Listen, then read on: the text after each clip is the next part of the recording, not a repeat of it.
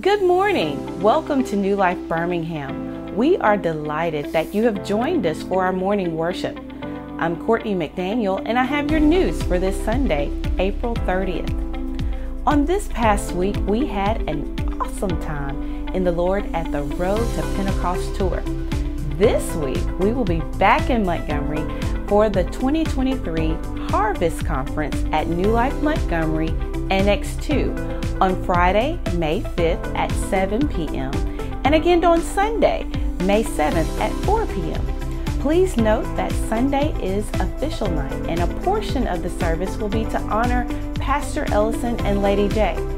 The theme for the conference is Open Heaven. Ladies, are you ready for our first Mother's Day outing? This year, we want to take the time to celebrate all New Life Birmingham mothers.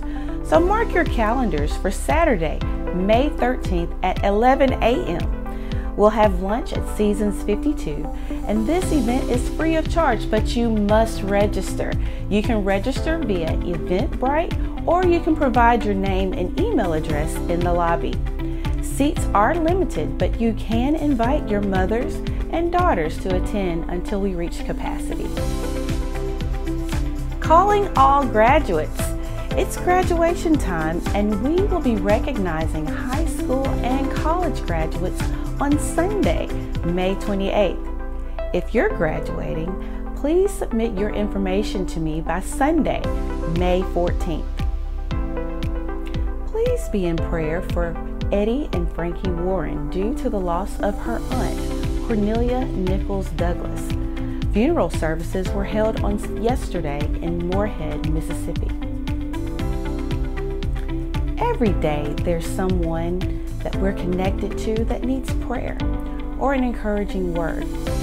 This week, let's be intentional and pray for and check for all of the people that we love. Pray for our families and friends to get saved and seek a closer relationship with God. I don't know about you, but I'm believing God is doing it in my bloodline right now. Now, let's get back to our worship.